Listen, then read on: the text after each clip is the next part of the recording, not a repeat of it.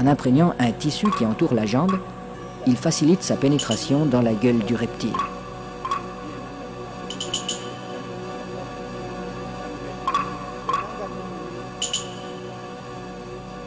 La jambe à pas restera en principe intacte, car le python avale simplement cette proie qui vient à lui. À peine sera-t-elle attaquée superficiellement par les sucs digestifs.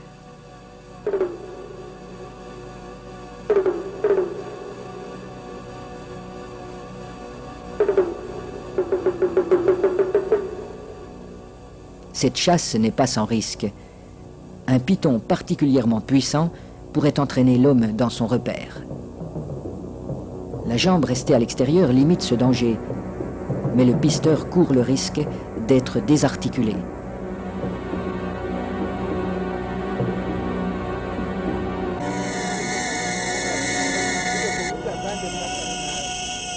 Pour rendre l'attente moins pénible, mais aussi faciliter le glissement des corps de l'homme et de l'animal, on place des feuilles fraîches sous le pisteur.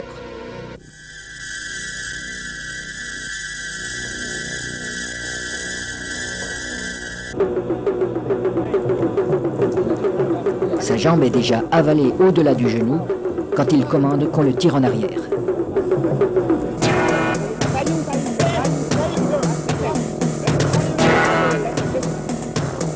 Refusant de laisser échapper sa proie, le python apparaît. Les aides tirent de façon irrégulière. Il secoue le python pour l'empêcher de trouver un point d'appui. Le pisteur relève son pied à angle droit pour ferrer le serpent, à la manière d'un hameçon. L'animal se sent piégé, mais il ne peut plus lâcher la jambe. Le python est maintenu allongé. Il faut éviter qu'il ne s'enroule. Cette position lui enlève une grande part de sa force. Pour dégager sa jambe, Naina déchire la gueule du python au couteau.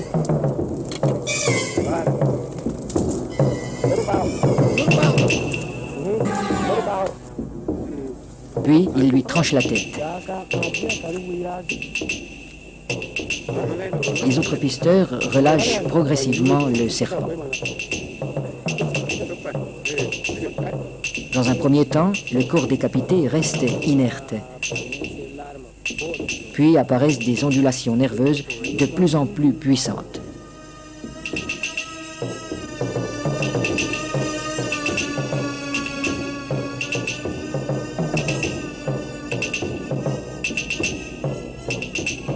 Il bougera ainsi pendant près d'une heure, prenant presque des positions d'attaque comme s'il cherchait toujours, au-delà de la mort, à menacer ses assaillants.